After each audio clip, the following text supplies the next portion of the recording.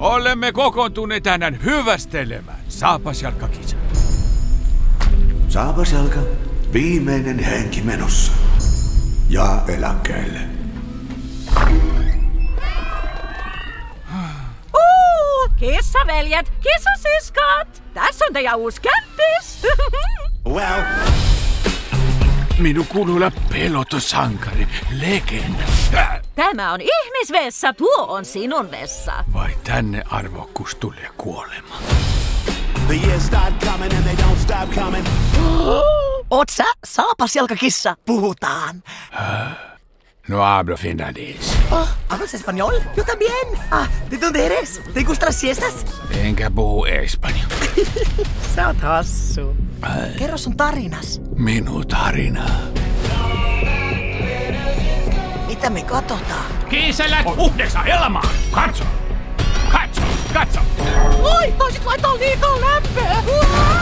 Tämä on viimeinen elämä. Voi ei.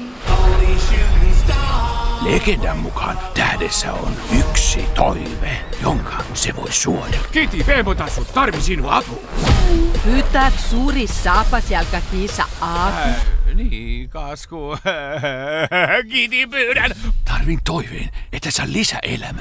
Okei, okei, raatonaama. En pistä Anelle, mutta ensin. Ai! Hei, hitaampi. Minä tiedän mitä teen. No, miksi naurat? Ei pitäisi naurat. Kiertä. Kaikki etsi toivomustähteä. Uskokaa pois, se toive tekee kaiken just hyväksi.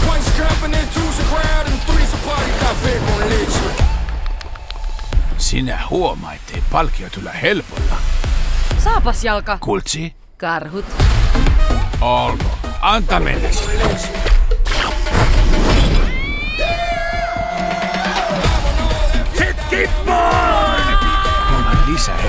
Minä en ole mitään. Kun on vain yksi elämä, se on erityinen. Kimpputiikeri. Hei, ota easy.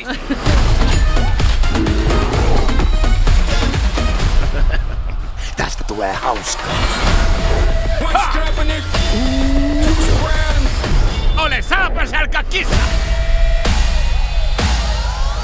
Toivomustähti on täällä. Synkkä metsä. Voidaan mennä yhdessä. Valmis? Yksi, kaksi, sä ensin. Ai jaa?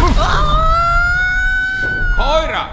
Oletko elossa? No mennään katsomaan!